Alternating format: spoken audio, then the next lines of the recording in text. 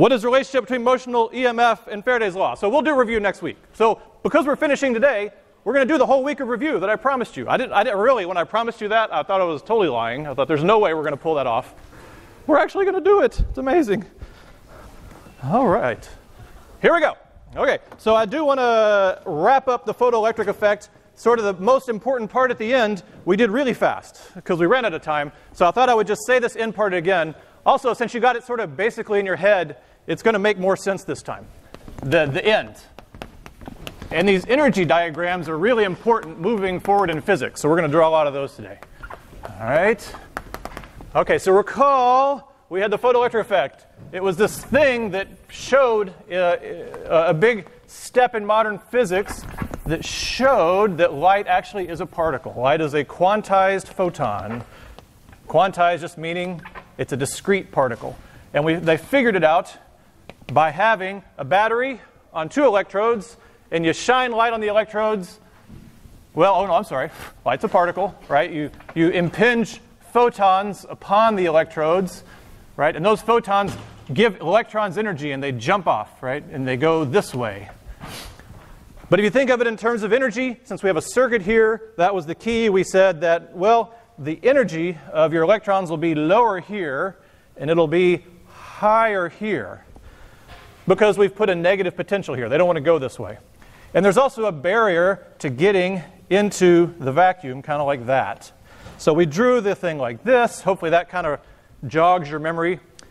And we said electrons are at all these different levels. We kind of draw them like a liquid because that matches sort of a standard description of them. The electrons fill up all these energy levels. Remember, this is energy. I think it was potential energy. This is like position, different parts of the circuit. Right? So all the electrons are here. This is just full of electrons, and this is full of electrons. And these energy diagrams you can also think of gravitationally. Right? You don't have to look at them and think, oh my God, I don't know what to do. Just think of it as this is the ground. Gravity's pulling down, and this is water. Right? That's the standard analogy.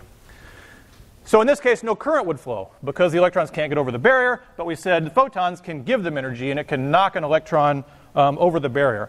And if you wanted to represent that really on this diagram, you could even draw a line that's the length of the energy of the photon. Right? The photon is going to give all of its energy to uh, all of its energy to the electron. You could say, what if it gave it that much energy? Right? So there's HF. Remember, the energy of the photon was HF. So if you saw that, you would say, oh, yeah, that's going to get over the barrier. And it'll go, the electron will go to here, and it'll gain some, uh, some more kinetic as it goes downhill, and then, then current will flow. Current will flow right, that way. So the thing we were doing at the end is writing just a conservation of energy equation for this whole process of energy, right? We said that this thing is sitting here stable, light comes in, gives some electron, some energy, and let's, let's say, where does that energy go? So the photon is absorbed. Its energy goes into the system. Let's see where it goes. So we got to look at this and remember some of these energies. I meant to draw this bigger. Let me zoom in on it here. Zooming in uh, on this electrode. Here we go. So if we popped it up from down here, the electron was down here, and we gave it that much HF. Okay, so that's just a zoom in of that. Then this energy, uh, I think I was going to use dotted lines kind of like this. Right, this energy between where it was and the top of this, um, oh no, I'm sorry, that's ED. Uh, this energy. From the highest energy electron to the top, this is how much it takes to just get any electron out. This was E naught. Right, that was the work function. Okay, so E naught was there, that's part of it. Uh, this was ED, that thing I made up that's not in the book, just to explain this uh, more clearly. That's kind of how deep the electron was down in energy, the one that we happened to grab with a photon. Okay. So we got to add these two, but then there's a little bit more. Right? What is this? This is the extra energy the photon gave it. It must end up as kinetic. So we have sort of the ED, how deep it was. It has to get past the work function, and then whatever's left goes to kinetic, right? So this is the photon energy, energy. This is the work function. Remember, the work function is the least energy you have to give to get something out of the metal, right? You can do more, but the highest level electron will pop out at the work function. This is how deep it was in energy, the one that you got out, right? And this is kinetic energy. How much kinetic energy did it fly out with, right? So you look at that equation, you say, okay. Um, and then I, I said, let's think about when you have the maximum kinetic. And I kind of explained it, and I got a text question, and I never answered it, and I'm sorry, but when are you going to get the maximum kinetic? Max kinetic. Well, let's look at this. This light, this photon, could pop out an electron from anywhere in here. So you can see you're going to get the maximum kinetic when you're popping out the electron from the very top. Right? So I'll actually draw that one. The maximum kinetic, I'll draw it on this side, would be here. Right? And then the photon's energy will be there, and then look how much bigger the kinetic will be. Right? The kinetic energy is how much above the barrier. So just by moving this up, but we can only move it up to here because there's no electrons in here. Right? The electrons are just in here. So what that's saying is just make ED zero. Don't waste energy by pulling out an electron in the bottom. Let's say let's pull an electron out of the top. Now you don't really get to choose, but we're saying what is the case that gives you the maximum kinetic energy. So then the balance would be the same, it's just we set this equal to zero. All of the photon's energy has to go to get it out of the metal. Right? That's, that's got to be there, that's the work function. But then everything else can go to kinetic, plus k. Right? Right, so we'll write subscripts one more time so this will make sense later in two weeks when you're studying. All the photon's energy has to escape the metal to get the most kinetic. That would be the condition that would give you the most kinetic energy. Boom. Okay, that's what that equation means. And we're obsessing with this because this is what Einstein said to do. So if Einstein said this, then we do it. We don't ask questions. He had the crazy hair, and you know he's got memes and Apple commercials and stuff. So, what higher authority is there? Okay, now Einstein's experiment, though, had to do with a stopping potential. This is sort of the normal way you would think of this working. Okay, but remember, uh, a stopping potential, what that meant is that you reverse the battery and you uh, current still flows. You can still get current. Which may sound strange. I mean, how can you change the battery and have the current still go the same way? The light is acting like a battery. It's almost like you have two batteries against each other and, you know, they're pushing and everything.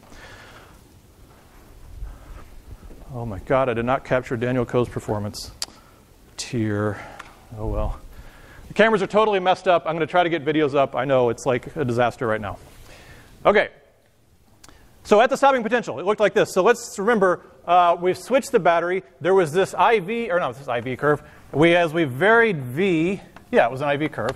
Looked at I, it kind of looked like this. Well, I'm sorry, it's supposed to go up for a while and then lay over.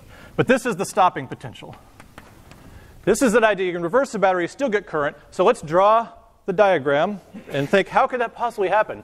But the reason it can happen is, notice that once this electron's over the barrier, it's just going to go. It doesn't really need this drop, right? I mean, this is going to drive it faster and give it more energy from the battery. But really, the key is getting the electron over the barrier. You don't necessarily have to have the barrier shaped that way. So let's draw what the barrier looks like. If you reverse the bias, then it looks like this right? High energy, low energy, low potential, high potential. We've switched everything around, right? Same thing here. You got some electrons here, some electrons here, right? Like that. Now, could you possibly get current to go again? And the answer is yeah. You just got to say, I'll grab an electron here from the very top, and I'll make sure the photon has that much energy, enough to get it over the barrier. See, now the barrier's on this side. So in addition to pushing against the work function, you have to push against the field the battery makes. So you got two things to push against. Okay? So what was I going to say about that? So, so again, then this is the work function energy here. Uh, this whole thing is HF again. The line is the photon's energy. It's got to go against the work function energy.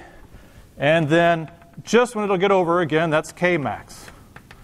Right, that's how much um, that's the most kinetic you can have, right? Because I drew it from the top of the little, uh, or I do it right at the work function. I didn't grab an electron from way down in energy. I grabbed the highest energy electron I could get, gave it HF. E naught's there, therefore that's the most kinetic you can get. Okay? So we can write our equation again. And, except, oh, I'm sorry. So this K max here we're going to use it all up to get over the barrier because it's the same as the barrier. V stop. Right? The voltage that you're turning it negative, the, the big the, the voltage that will stop all the current is the one right where this barrier height equals that kinetic energy. Okay, right? So if it's a little lower, they're not going to get over more, you'll get plenty over. So this is the critical limit, is where V stop equals the kinetic energy. How can a voltage equal an energy? You put an E here. Right? It's the energy of an electron at that voltage has to equal K max. So what we're going to do is we're going to take that same equation and say HF equals E naught plus K max. That's what's happening here right? And we're going to say, but the K max is actually equal to the, the negative voltage. You're basically measuring K max when you do this experiment. K max is being measured right there if you multiply it by an E. Okay, so we'd write it like this then.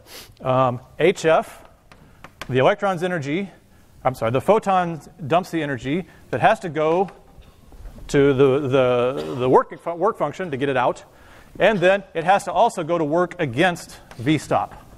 But we have to have an energy, so we put there. Okay, so just like here, photon gives energy, you got to escape the metal, and you get all that kinetic. Now, the photon gives it energy, you got to escape the metal, and you got to push all the way against the negative voltage. So that's all that is. Okay, we write that one more time. This is the photon energy. You must escape metal, escape, and you must use K max to push against the battery. That's what this term is saying. Oh, yes. Now, typical theorist would stop here and say, hey, everybody do this, and then post it on their blog, and people say, I don't know what that is. Experimentalists look at it and say, ah, you wrote E stop, but I don't know what you're talking about. So what you got to do is you got to take an equation like this and write it in a form that matches an experiment, right? And, and suggest an experiment. So Einstein said, let's write it like this for you experimentalists. This will make a little more sense. Let's solve it for V stop, right? So we're going to say V stop is HF minus E naught. H, that's the free energy of the photon, minus the work function, and let's divide it by that little E. Right, I'll take the E over there. There's your equation for E stop. But there's one more thing that we have uh, from the, uh, the, uh, the photoelectric effect. It's really a measure of the work function. The minimum frequency that'll get you any signal, get you over the barrier is the work function, if you have like no barrier. So uh, F naught is the minimum frequency photon to get an electron out. That's the idea. So what we're going to do is we're going to say there's an F naught you can measure here. And what he said to do is measure V stop as a function of F naught. All right. Let's image mute. Image mute. Yeah. Let's see. So that's how we got to this equation that's actually useful for experimentalists. And we say, well, if this E naught, if F naught corresponds to E naught, you just need an H in there. It's like the photon. E naught equals HF naught. So if you have HF naught here, then you can pull the H and the E out. And that's how we got to his equation where he told the experimentalists what to do. H over E, F minus F naught. And then you tell the dumb experimentalist, yeah, do that. Measure that and send me the blind. Don't think about it, just measure it. That's how we're treated.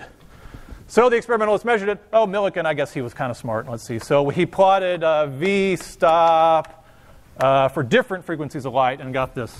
Right? And it matches that. And the offset, uh, uh, the slope, tells you h over e.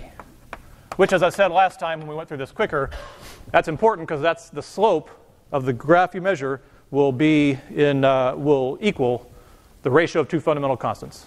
Planck's constant and the charge of the electron. So that was a way to measure Planck's constant and agree with other measurements of Planck's constant, etc. Here's F naught. That's the work function of the metal, essentially. Right? That's the minimum frequency it takes to get an electron out if the barrier is really low. Okay? So was just a little bit more careful on the end that I meant to cover uh, last time. Okay? Let's answer these and get on with our lives. Here we go. I'm sure these are all about the exam. Here we go. Uh, does the work function FC and energy of how deep the la, la, does the work function and energy of how deep this have the same symbol? Uh, the work function is E naught, so I'm not sure. Uh, and energy of how do no that's E naught and ED. So that's E0 and ED is the depth. That's ED is also the one I kind of made up for this derivation. I don't, they don't call it ED in the book. They just pull a little razzle dazzle on you. What's the difference between the lines for Kmax and EV stop? That's the key. They're the same. That's the idea. Right? These are the same thing. If you're at the mid, you know, that's what this thing is doing. It's pushing so hard, it's killing all the kinetic energy. So that's why those two are the same. That's why we equated them in the equation there.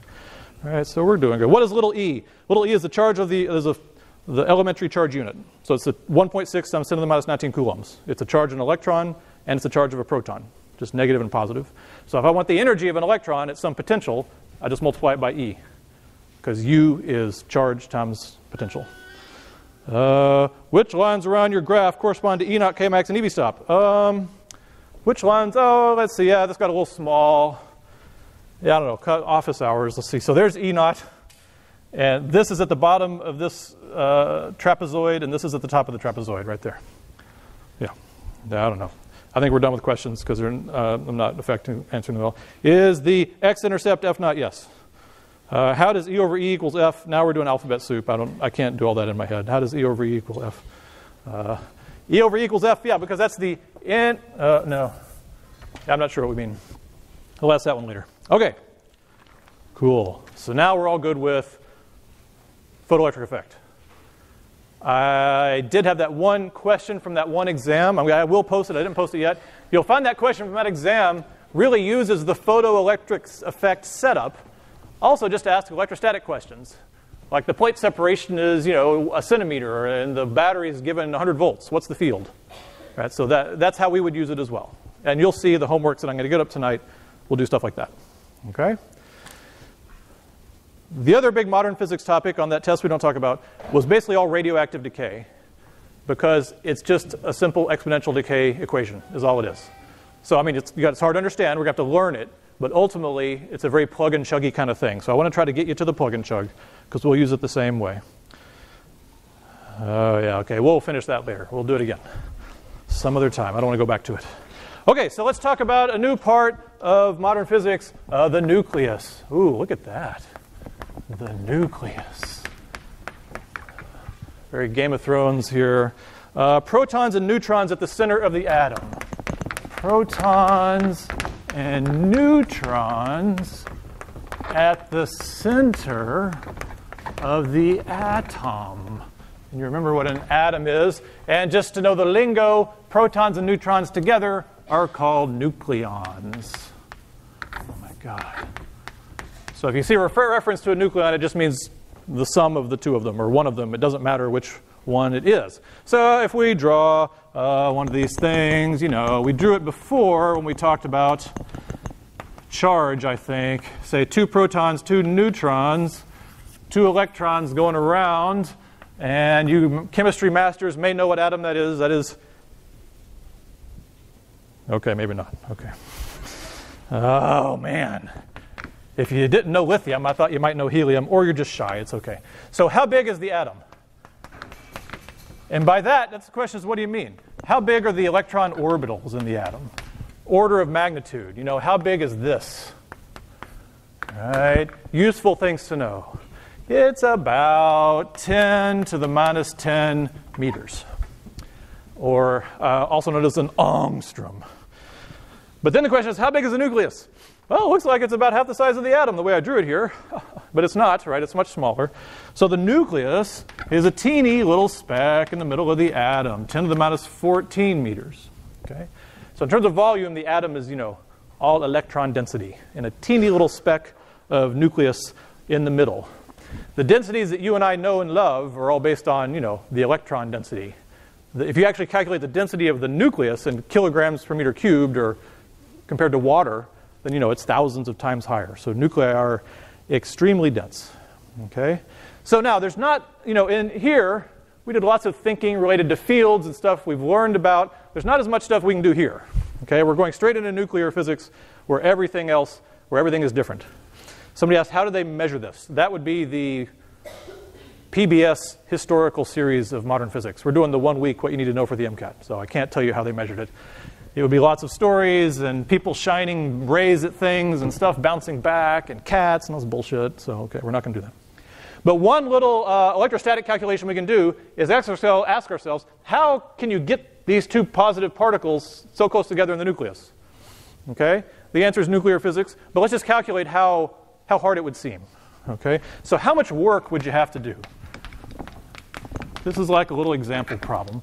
Uh, would you do to get two protons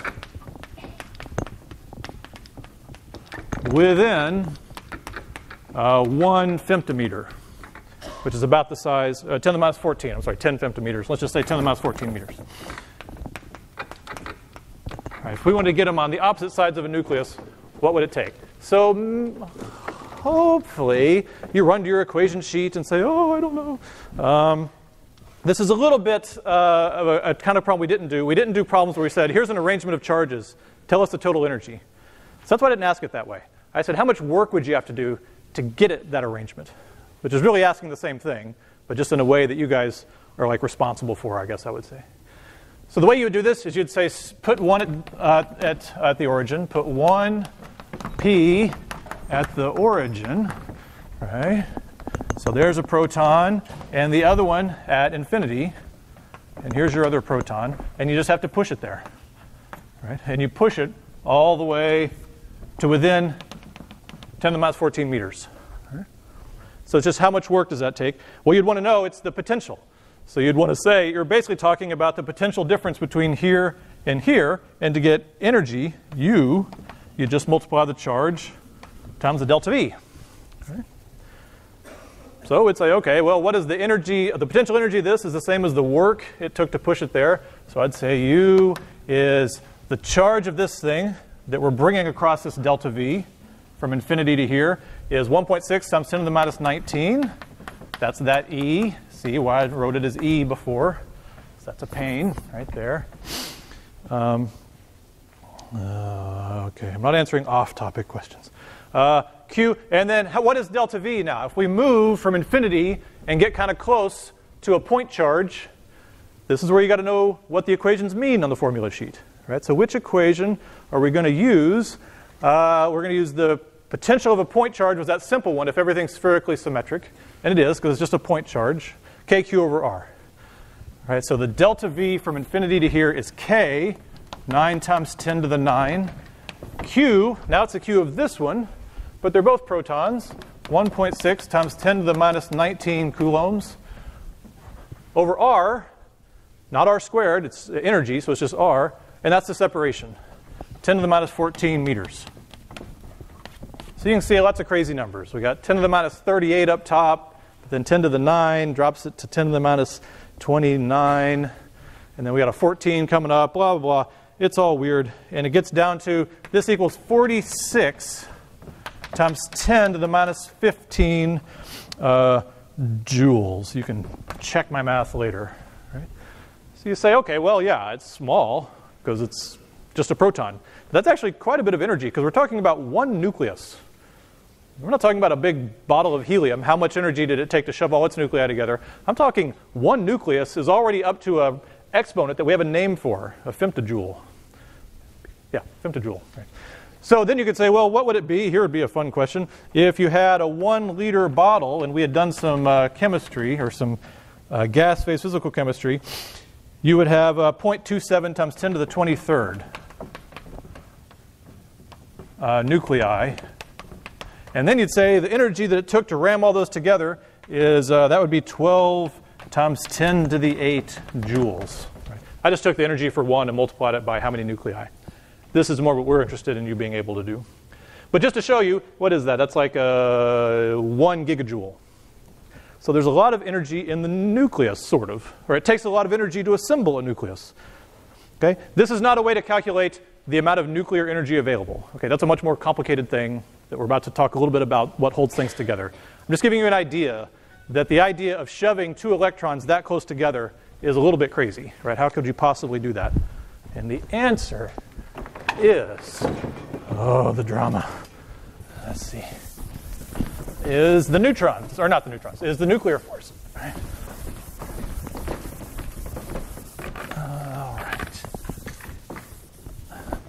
So let's see what's the answer. Uh, oh, we're on page four. um, how does this nucleus stay together? The nucleus is held together by, and when they were getting started, I mean, what they, they don't know what it is. So they said, well, it must be the strong, it must be strong, and it's in the nuclear, it's in the nuclear, the nucleus, the strong nuclear force. That's how it got its name. It's strong and it's in the nucleus. Very specific. If they really understood it, it would be named after somebody by now, but no. What does F indicate on the line? It always indicates force. I'm not even going to look. F is the force. Yes, thank you. That's the force it would take to push the protons together, but we calculated the energy. Um, is that technically just the energy of two protons when they are 10 minus 14 meters apart? Yes, that's what we were calculating. That was the question. Okay. Okay, so the nucleus is held together by the strong nuclear force between uh, nucleons. Right? So any two nucleons are attracted by the strong nuclear force proton, proton, proton, neutron, neutron, neutron, whatever you want. So we can't really do the math of the strong nuclear force. It's not nearly as simple as just the little electric forces, but we can draw kind of the diagram to give you an idea. So, you know, this is what I want you to be able to be comfortable with a little bit is an energy diagram. What's the potential energy of shoving two protons together? Shoving two protons together. That's that axis. The, the MKS unit of that is too close. Let's see. So zero here, right? So how do you shove them together? So the electric energy the electrostatic it gets really big, right? They don't want to be close together. So it's like this, right? It goes as 1 over r. So we just calculated. We put them really close and we got a femtojoule. We got it like right there. So what pulls them apart is a strong nuclear force, right? So it says they do not want to be on top of each other. Quantum mechanics gets in the way. But then there's this big well here, right? They would like to be here. So it pulls them to within about a femtometer of each other. Right? So this is the electric force, electromagnetic really, and this is the strong nuclear. Now notice I'm not plotting forces, I'm plotting energies. So that's just what physicists tend to do. We don't calculate everything as a force, we just draw an energy curve, and we know that the force is the derivative of the energy curve. So just get used to in chemistry, and if you do some other physics, you'll see lots of plots like this. Where we say, clearly if we add these two, there's going to be a minimum here at a femtometer. So I've told you almost nothing technical about this, right? The strong nuclear force is strong. You can see the energies are bigger. It overcomes the electric force. And it has a minimum and holds things at about a femtometer apart. That's it. So if they get too far, if they start to go apart, it pulls them together. They start to get too close together, it pushes them back. It does both. It's a very complicated force. So if it exists between two protons, why do you need neutrons? What are neutrons good for? So they're just there to help keep the balance, you know. So if you have, uh, so you'll notice, well, I didn't really draw it accurately enough, but the electric force is much more long range than the nuclear force. So if you had a, a bunch of protons alone in a nucleus, the ones far apart wouldn't have much strong force pulling them together, but they'd still have a big electrical force pushing them apart. So the neutrons are in there to kind of keep the balance and hold the whole thing together. So that's why there's neutrons. But we don't need to get into the math of that. I want us to get to decay. Okay, so basically then, so the, uh, so the nucleus holds together but is not entirely stable. Uh, depending on the arrangement of n's and p's, right? So there's a whole theory, and it's in the book if you want to read about it. It's not in the sections I, I said for the exam, uh, called the shell theory, and it's kind of like the electrons in an atom. They're energy levels, and they occupy them, and they arrange certain ways. Same kind of deal, but it's just done by neutrons and protons and how they're arranged. So some nuclei very stable. I don't know, hydrogen very stable. Proton isn't going anywhere. But if you get a very large nucleus with lots of different parts, lots of uh, neutrons having to hold all that stuff together, it can fall apart pretty easily. Okay, so so yeah, the second part. So the next half we'll do uh, what happens when the nucleus falls apart. Okay, so five minutes. I got to see if I got to defrog that.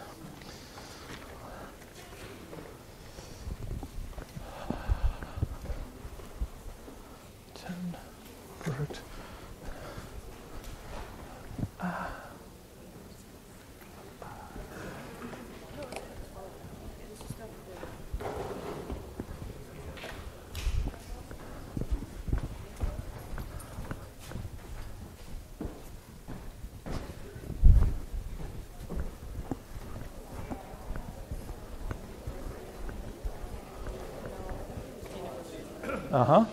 So this graph for the strong nuclear force, this is a separate thing that we haven't calculated yet, right? Yeah, you can't calculate that. And this top part is just this. Yeah. Okay, so when they match, it's at one femtometer. When they what? When they match, like at one femtometer. Uh, the minimum of the strong nuclear energy is about one femtometer. Oh,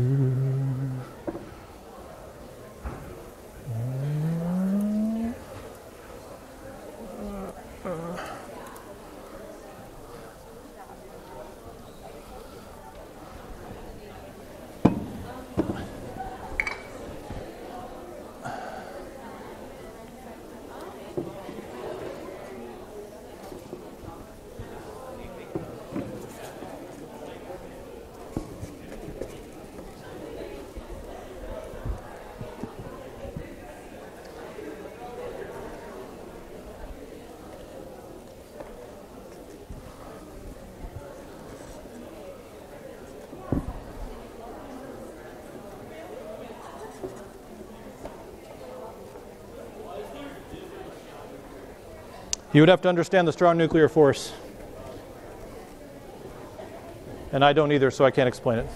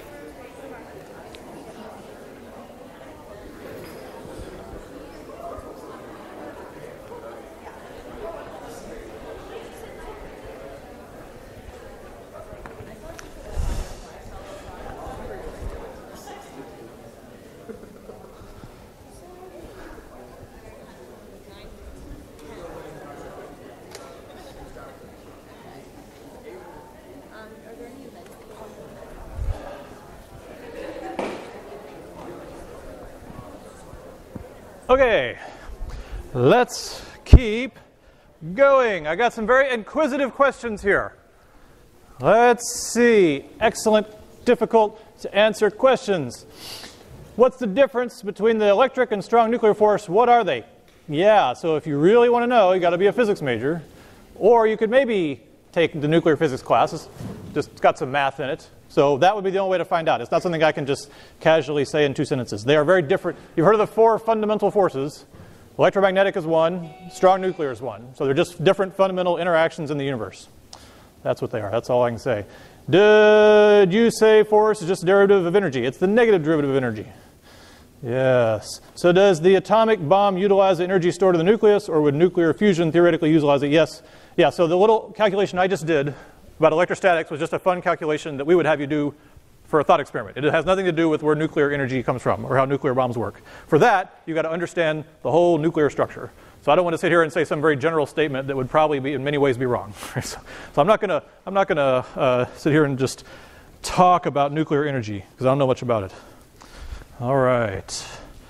Now, where were we? We were saying that the nucleus might be um, unstable because you got all these neutrons and protons sort of barely being held together with a balance of the nuclear force. Um, and you may have heard of the, the dangerous, scary thing is there might be radiation. Oh no, we must fear radiation in all forms. Well, we better not, right? Because let's keep in mind, uh, radiation isn't always bad. It's anything, if you want to get technical, moving in a radial direction.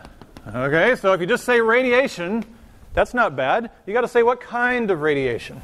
For example, electromagnetic radiation is one we've talked about.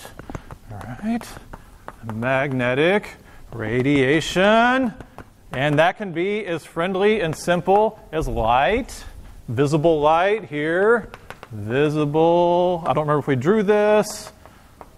Um, when we talked about light before, but light is radiation, visible light's radiation. So usually the word you put in front of radiation tells you whether you should be scared of it or not, right? So if you go a little bit higher uh, energy, uh, I think of wavelength, oh dear, let's, uh, okay, let's go increasing energy here, UV. You've heard that UV radiation, kind of bad for you. Then you get up here, X-rays, kind of bad for you. You don't want too many. Once a year in your teeth, whatever. And then gamma rays. Oh, horrible, except they're all showering down on you from the heavens, messing you up. But your body has defenses, so don't worry about it. You go this way, you've got IR radiation. That just warms you up. That's nice. And you've got uh, what's past the IR is microwave, that cooks your burrito. And you've got radio. That used to bring us music, it doesn't anymore. Okay? Now it's just for looking at black holes or something like that. Okay? So if you just say electromagnetic radiation, it might be dangerous or it might not. You need to know where are we here. Right? So then you would say UV radiation, oh bad. X-ray radiation, bad. IR radiation, good. You just don't want too much. Catch on fire. Okay? So there's lots of different kinds of radiation. Just the word radiation uh, does not mean something is bad. But let's look at the kind of radiation you get when radioactive material uh, decays and falls apart. Let's see. Uh, so radioactive material, and that means basically a material with unstable nucleus. So any material in principle, the nuclei could uh, uh, degrade or change their state and, and, emit radiation. But of course, there's famous ones: uranium, plutonium, etc. So radioactive material emits three types of radiation. Three types of radiation, and it's useful to be somewhat familiar with them. So this is the one list I guess you have to memorize is the three types of radiation from radioactive material. I'm confident that you can do it.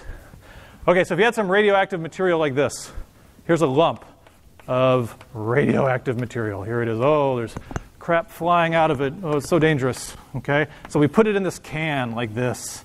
Here's a diagram from your book. And then it's okay, so now it's only getting out here. And then we put an aperture here like this made out of lead. So then you've got a beam. Okay? Now we have a beam of whatever that radiation coming out of that thing is. See here, it can't get through the lead. There we go. So you do an experiment something like that. All right? And then you would send the beam into a field like this. Ah, a magnetic field pointing into the board, like that. and you'd find three different behaviors. Okay? One thing would just go straight through. Right? One thing would curl up, and one thing would curl down, like that. That's the first, the fundamental way they know there's three kinds, is they do three different things in a magnetic field. So you can maybe start to guess uh, what the property difference is. I'm going to let us think about it. They named them, again, very detailed alpha, beta, gamma. We don't know what they are. alpha, beta, gamma. Also, Einstein's uh, fraternity, but that's just a major coincidence. Okay? They all have different charges, so maybe you can tell from this they have different charges. So let's see if we can figure out what their charges are. Remember, they're moving. It's a beam moving, so think for yourself for a minute if we label them alpha, there's alpha, there's beta, and there's gamma. So, what's the charge on an alpha particle? Is it positive, negative, or neutral?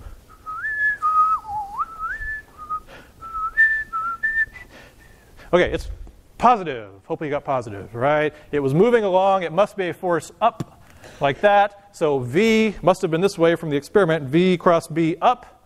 Since it's a positive charge, the force is in the direction of the V cross B. So, this is positive.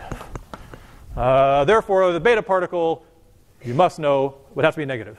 The only way a particle is going to move this way into a magnetic field that way and go down is if the negative charge is reversing the direction of the force. V cross B is up, negative particle makes the force on that one go down. Betas are negative, and gammas are neutral because they don't turn. They don't feel a force. V cross B can be whatever it wants, multiply it by zero, and that's all you get. And eventually, uh, we figured out, we, I wasn't involved actually, I wasn't born yet, but we, meaning physicists collectively, figured out what they are. So the alpha particles are uh, helium nuclei, basically. He, they usually put a 4 here, meaning uh, four nucleons, two protons, two neutrons. But in chemistry, you'd also put like a plus, is it 2 plus or plus 2? I haven't taken chemistry since 85. 2 plus. Since it has no electrons, it's an ion, right? It's an ionized helium. So it's really just a helium nucleus flying around without any electrons on it. Cool. What is the electron? What is the beta? It's an electron. Right? An E with a little light, negative sign is sort of just a graffiti way to write electron. Okay. And then gamma is neutral. What do you think it might be? It's photon. It's electromagnetic radiation. And gamma, it's a gamma ray, so it's the one way up here. Right, so sometimes nuclei emit gamma rays, maybe sometimes X rays. It depends on the energy. Right? The energy of the nucleus is really high, so the photons that come out, and the, these all tend to be in sort of the mega EV, M EV range. Okay? So this is all due to the decay of an unstable nuclei. Okay? So let's see. So let's look at then what they do. What do they make happen here? So these particles, alpha, beta, and gamma, are roughly 10 to the 6, a million times the energy, times the uh, energy of visible light and uh, molecular bonds. So if you want to do your energy scales, if you're a chemist, you do your kilojoules per mole or whatever. In physics, you do it for a single atom or molecule, and you do it in EV. That's why we have EV. So typical photon has an EV, a, visible light photon, 1 or 2 EV, 3 or 4 EV. A molecular bond, 1 or 2 EV, 3 or 4 EV. That's why we exist at this scale, because everything's stable and you can have interactions and light can do things and our eyes can work. But when these things come in, they're at a, mega, a million EVs. Right? So visible light, molecular bonds, roughly EV. These things are roughly a million EV. So as you can imagine, they have the potential, the ability to tear right through us, right? They just fly right through you. Um, uh, I guess, and I'll say they break bonds, uh, break bonds, and ionize ordinary matter, especially if they're charged. All right, so especially a charged helium uh, ion hitting you will definitely ionize things. Electron will definitely ionize things. Photons tend to pass through a little bit more, but they still have other mechanisms where they can cause uh, damage. Okay, So, how do we possibly survive with all these things flying through us all the time? Well, your body recognizes a mutation and puts it back together. So, that's why sometimes they're called together collectively ionizing radiation. That's the big medical word, right? So, I said that for radiation, you got to be specific. What are you talking about? Should we be scared of like 2eV electromagnetic radiation? No, that's just visible light. Should we be scared of all these individually? Maybe. It depends. But if they say ionizing radiation, that means it's one. That as it goes through matter, it'll tear things up, right? So it looks kind of like this. If this is some matter, everybody's happy, you know, neutral molecules, everything's good, and a particle flies through, say, an alpha, then all the ones nearby become charged, right? So it rips all the electrons off, and it makes a little streak. And you can imagine this was a delicate biochemical symbol uh, uh, uh, system, then that would be bad. Right? You don't want big radicals created in all this. Okay? So they leave trails of ionized matter as they tear through. Of ionized matter. And um, they cause mutations. If we want to talk biological, you know, they cause mutations. That's why at the end we're going to talk about like the dosages and all that. Cause mutations, but you have natural defenses to so we, do, so we can still survive. Right? So I'm going to show these to you. This is called a, uh, a bubble chamber. I think I am. I've never, never set this up for a class before. Let's see. So, oh, I turned that off. I thought I was done with it. So let's look at a bubble chamber real quick. And you'll find that you don't have to be near um, a radioactive source to see these. There's particles flying through the universe all the time from up high, from the sun, from the Big Bang, whatever you want to call it. Uh, let's see if we can see them. So there's a camera sitting on top of that thing. The projector is waking up, and you're going to be basically looking down into these bubbles. And it's basically uh, it's, uh, it's ethanol, and it's supersaturated ethanol vapor. So when the particles go through, they make ions, and they make big bubbles. I'll turn off the image mute. Here we go. And the bubbles make like a streak. Right? So there, that cross, that's just a thing on the bottom of the plate to help you focus. And maybe you can see those little trails being created, shooting through. All right, those are mostly electrons and muons flying through the room right now all the time. Look out. Don't get too close. And you can see you can't avoid them, right? Oh, look at that one. Oh my God, are you okay? Did that hit you? You okay? Okay. So that's just the natural background. We can also uh, look at the alpha particles coming off of a radioactive source. So let me go get it. It's just teeny. It's, it's from a smoke alarm. You're fine. It's, it's, it's in paper. Okay, so the radiation coming from this thing can't get through paper.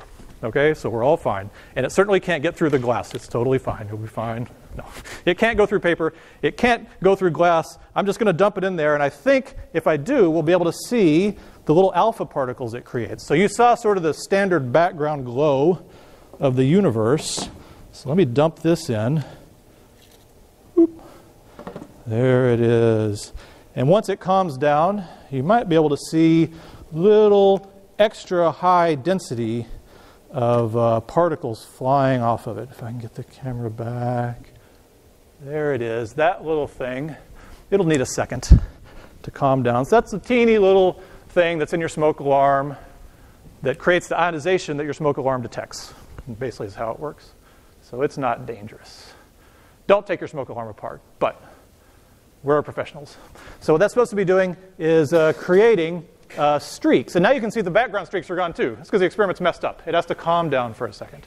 Okay, so I'm going to leave that there and keep talking. And as soon as I think it's starting to make traces, we'll look again.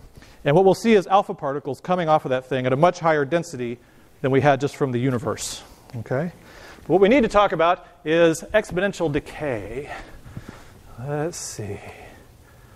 All right. Oh, there's some street. Oh, that's on the plate. Never mind. I thought it was warmed up. Okay, so now we're going to talk about is the mathematics of how the, the nucleus comes apart.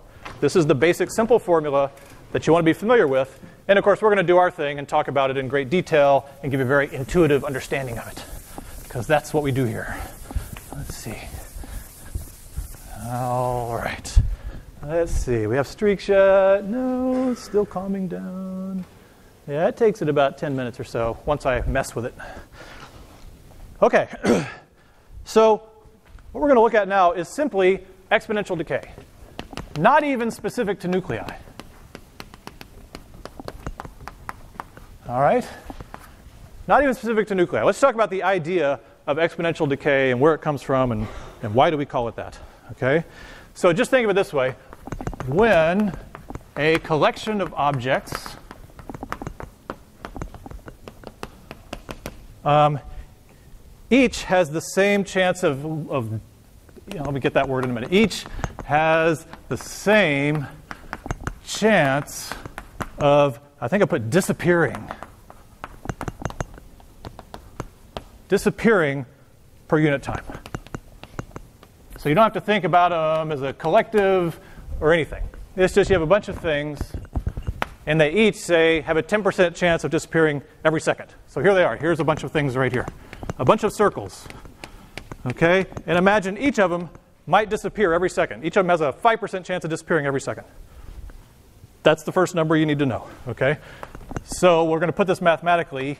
Each has uh, a probability per unit time, uh, a probability per unit time equal to r. So r is just the rate, right? The probability per unit time r uh, of disappearing. Now we're talking about disappearing. Right? So, so this is just called the decay rate. You can imagine if each one had a 50% chance of disappearing every second, they'd disappear pretty fast. If it had a 0.01% chance of disappearing every second, it'd take a lot longer. So that's why it's a decay rate. Not even talking about all the particles yet, we're just talking about each one. But what we want to think about is uh, um, the rate at which they leave depends on the number. Okay? So now if I want to think about the whole thing, this is about each one. Now for the collection, the rate they leave, that doesn't just depend on each one, that depends on how many you have. Right? If I have one and it has a 10% chance of leaving per second, the chance of one leaving is 10%. If I have 10, the chance of one leaving is a little bit higher right? Because all of them might leave every second. So the more you have, the larger the rate of them leaving. So if you have a collection, uh, the rate uh, collection, I'm going to put an n here. So n is the number. Then dn dt, right, is minus r times n. So let's see if that all makes sense. The number of these as a function of time, or I'm sorry, the rate that these would disappear, well, it's going to be negative because dn dt would be negative if they're disappearing. It's going to depend on r, and just take r times n. Right? If one of them has a 10% chance of leaving, then four of them has a 40% chance of leaving. Right? Just r times n. So then we have this equation. We have a differential equation. All right? So now we just have to solve it. See, life is all differential equations. That's all there is to life. I've run out of, oh, it's not cold anymore. We can't do the hot source. Totally safe. But now the thing isn't cold anymore, so I'm just going to take it to the back. We'll set it up Tuesday if you want to look at it for funsies. Oh well. I think I took a video of it, so I'll play it later. Okay, so so this is our differential equation. Now we just have to solve it. Ah, yes. Let's see. We solved one by guessing, I recall for oscillating motion. We solve that by guessing. This one we don't have to guess. Uh, this is kind of like the charge on a capacitor. I don't think we derived that. I think I just gave you the answer. Now we're going to derive it. Why is Rn negative? Because we're talking about decay. Because they're disappearing. So disappear is the negative sign. If they were appearing, it would be positive. But if it's dn dt and they're disappearing, that's negative. Okay, so we want to find the number in at all times. So basically, we're just saying solve for n of t. Right? You have a differential equation defining how n of t varies. We can't just solve it for n of t because it's, the rate is here and the value is here. Okay? So often in a description of exponential decay, they'll just say, well, it's where the rate depends on the number present. So I'm just telling you why that happens. Okay? Now it's just math. Now we just solve this. So to solve this one, you do a thing where you put all the n's over here and all the t's over there. You just get the n's together, dn over n, and that's minus r dt. Okay. And then you integrate. So we have a dn here and a dt there. So you integrate both sides, and you integrate them for kind of the same experiment or the same process. So we're saying at t equals 0, um, n equals n naught. We're going to start at some initial amount of these nuclei, some initial amount of radioactive material. And after a certain time t, n is just going to become n of t. That's what we're solving for. Right? From n equals 0, from n naught to n of t, from 0 to t. Okay? So what is the derivative of dx over x? Natural log x. I'm just deriving, you don't have to do this, I'm just deriving this for you. It might be helpful to know what's going on. But the natural log of n from uh, n0 to n of t. All right? Took the, the integral of that, it's natural log of n. Now we're going to evaluate it. This side, you can do this integral probably minus RT, right? R is a constant, integral dt is t. RT evaluated from 0 to t. All right, let's evaluate it. Natural log of n of t minus natural log of n naught. So the natural log minus natural log is the natural log of the ratio. If you didn't know that, now you know. I just told you. n of t over n naught. That's this side. Minus r plug in t minus minus 0. And a plug a 0 in there is a 0. So it's just minus rt on the right. And then we want to solve this for n of t. So if you have something stuck in the natural log, you take the exponent of each side. And I like to write a big E like this. Oh, I just exponentiated each side. Cool. Okay, what is e to the natural log of something? It's the something, n of t over n naught. And that's just still e to the minus rt. We can't do anything with that. e to the minus rt. Ah, now you can see it. This is how you derive exponential decay. That the number you have is a function of time. That's a function of time. I haven't been writing those all year. I'm just reminding you what we're deriving here. n is a function of time, is whatever you started with, e to the minus rt. Right? e to the minus the decay rate times uh, time. Right, so let's look at what that looks like It's standard exponential decay. All right. Let's Let's look at it. See what we can do with it.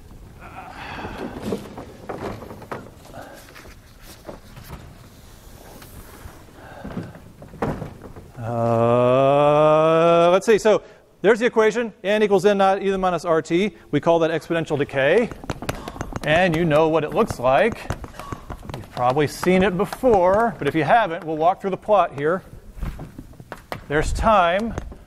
There's the number you have as a function of time. So we're talking about the number in this little collective here. It's going down because they're decaying. So at zero, what is it? So put a zero here. What is e to the zero? 1. Anything to the zero is 1. So it starts at n naught. Right, so we say it starts here at n naught.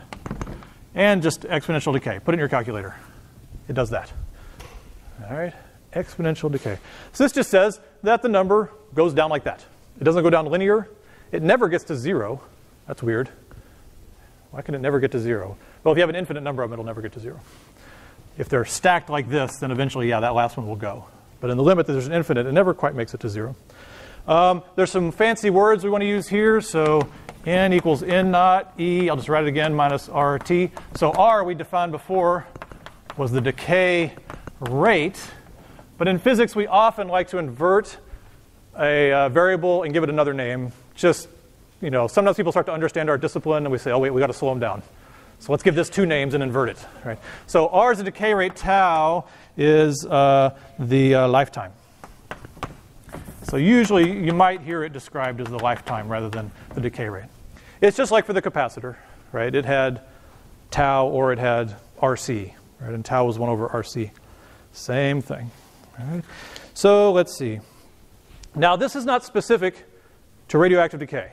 So, one thing we love to do in physics is that you have uh, one equation that describes many phenomena.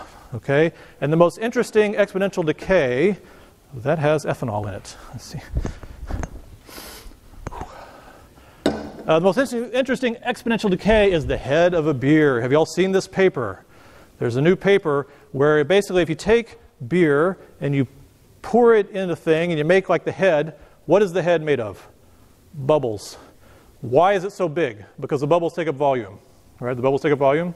Uh, what happens to the bubbles in time? They pop. Do they each have the same chance of popping every second? Yeah, basically.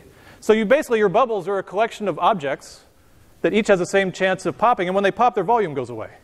So what people have studied very carefully is if you look at the, the volume of the thing here, is that it goes down very fast at first and it slows down because it's exponential decay.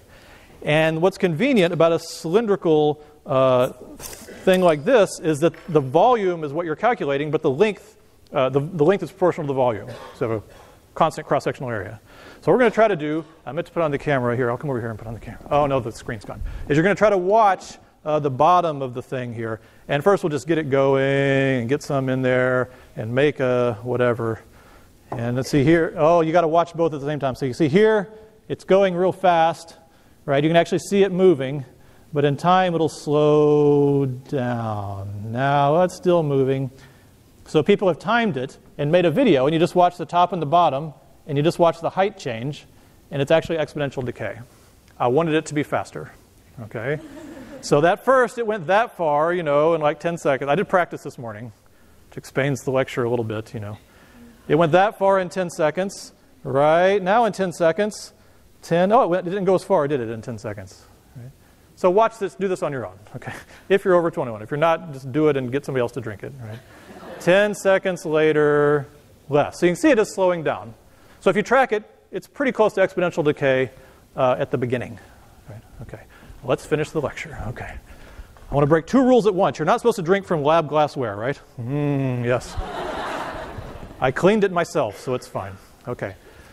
So it's true for beer, it's true for everything, okay?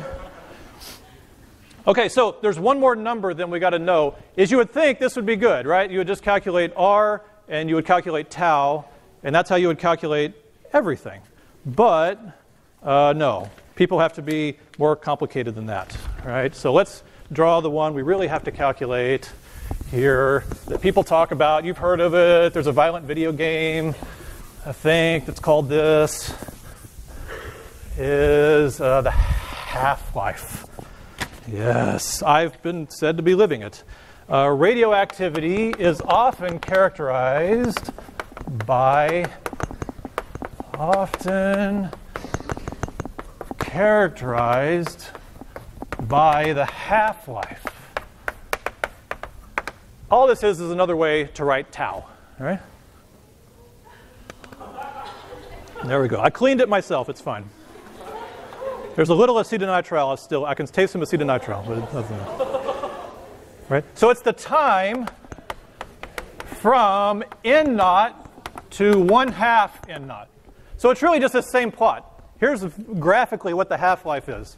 N naught, one half N naught. So it's literally just this time right here.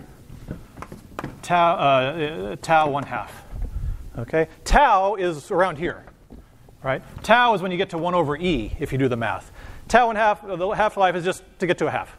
So it's not really anything fancy at all. All we got to do is say, well, we know it's n as a function of time is n naught uh, e to the minus uh, uh, uh, t over tau, right? So we, how do we get to half of n n naught?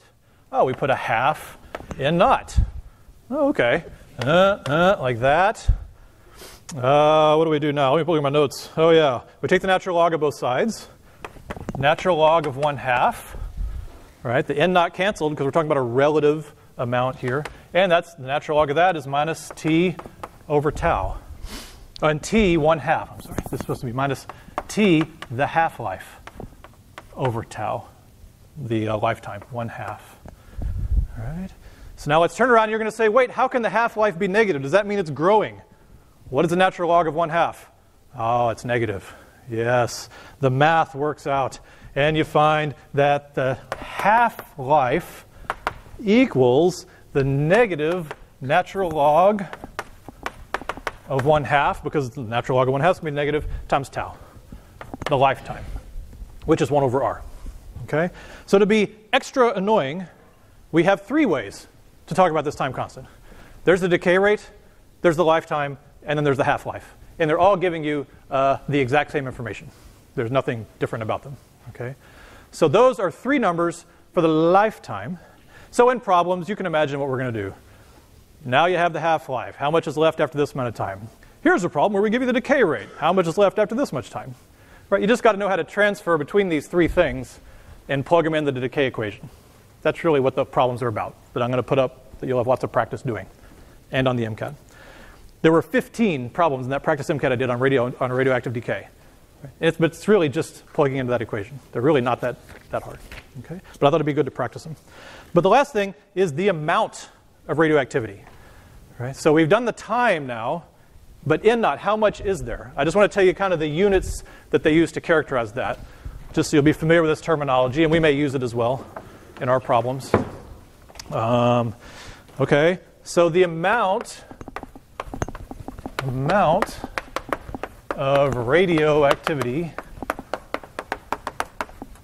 um, depends on the number of nuclei, as you can imagine, and how unstable they are.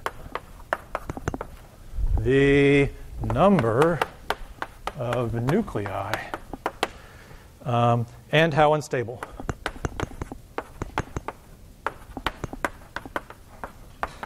So you don't really characterize it just based around the raw number, right? So if you had an equal number of carbon atoms and an equal number of uranium atoms, the uranium would be a lot more radioactive than the carbon because it's a lot less stable of a nucleus. What you really characterize it by, based on is how much stuff is coming off of it. So the activity is the uh, word. Because the thing is called radioactivity, so the activity is the amount of radioactivity, and it's just called big R, and it's just the number uh, uh, number of decays per second. Okay? So if I have a radioactive sample, it's got particles coming off. How many come off per second? That's the activity. In terms of numbers, we've already said R equals R times big N. Right? We used this in the formula before. The number of decays per second is what's the chance of each one decaying per second, and how many are there? But this is the number we tend to use. In MKS units, it would be in inverse seconds.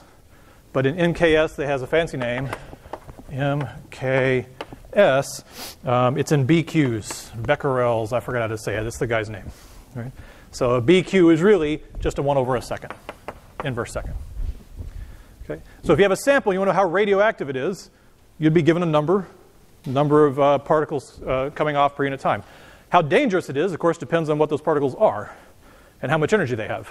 Right? This is just a count. It's not getting into is it that many BQs of alpha particles at 100 eV, or is it that many BQs of beta at a giga eV? I would want to know the difference. The other famous uh, unit is in curies, uh, CI, and that's a lot because those were developed uh, for with radium. unfortunately, is 3.7 times 10 to the 10 right, uh, decay per second. So we might give you a problem for fun. In Curie, you just got to convert it to Becker to BIs. Okay, so Curie was the amount of radiation coming off of a gram of radium. So that's why it's so high. Okay. So that's really it, right? So if we told you you had a certain amount of material with a certain number of nuclei, you could calculate big R, and you could calculate the time constant, calculate all these things. There was one other thing I was going to say, but I forgot what it was. Oh, we're out of time anyway. Okay, so next week we really will review, I promise.